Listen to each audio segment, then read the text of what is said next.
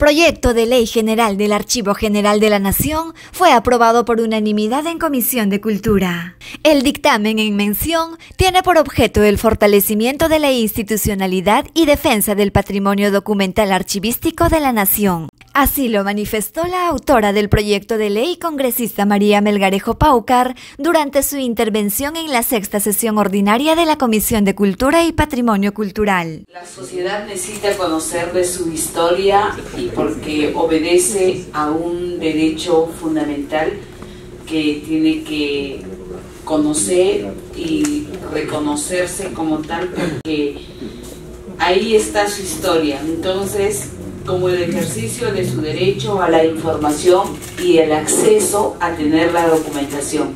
Pero el objeto de esta ley es el, fortalecimiento de la institucionalidad para futuros proyectos y lo que prima es que con este marco legal vamos a contribuir como sociedad y como Congreso. Solo eso para decirle muchas gracias. Muchas gracias, congresista. Entonces vamos a Vamos a proceder a votar. Eh, a favor. Sheffer, Mariona, Ramos, Villanueva, Melgarejo, Palomino, Petrosi, Aguilar y. Ha sido aprobado por unanimidad. El proyecto de ley 3068, Ley General del Archivo General de la Nación, busca brindar un marco legal que determine los fines y funciones de la institución como ente rector del Sistema Nacional de Archivos.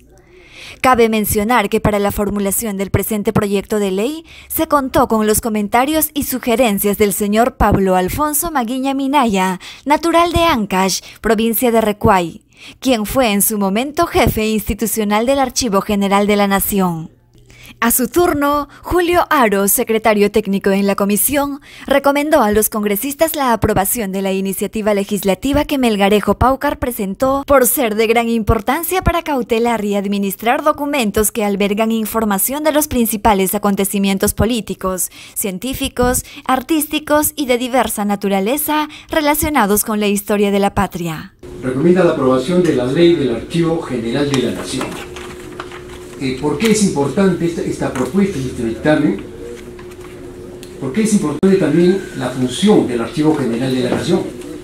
Porque este es el organismo que cautela y administra documentos donde está la información de los principales acontecimientos políticos, económicos, artísticos, científicos y de diversa naturaleza relacionados con la historia de nuestra patria. En su primera disposición complementaria, se plantea que los gobiernos locales participen activamente en la promoción del patrimonio documental archivístico y de su conservación.